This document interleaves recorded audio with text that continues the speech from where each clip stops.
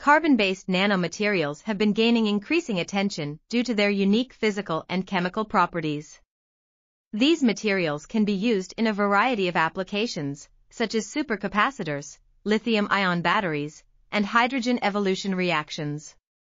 In order to optimize performance, non-metallic elements like nitrogen, boron, sulfur, and phosphorus can be added to the material either individually or in combination.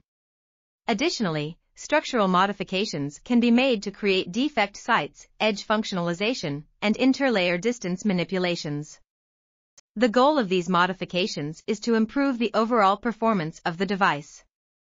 Finally, the challenges and opportunities associated with using carbon-based nanomaterials in energy storage and conversion are discussed. This article was authored by Gopalakrishnan Kothandam, Gurwinder Singh, Xinwei Guan, and others.